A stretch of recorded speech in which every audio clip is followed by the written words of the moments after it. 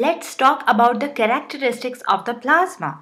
As you know that the plasma consists of ionized gases, Therefore, the plasma conduct heat and electricity due to many unique properties that are different from the solid, liquid and gas. Types of plasma there are two types of plasma. First is the natural plasma and the second is the artificial plasma. The natural plasma exists only at a very high temperature and the minimum temperature for the natural plasma is about 20,000 degrees Celsius. Sun, stars, space, lightning and the luminous clouds etc. are the examples of the natural plasma.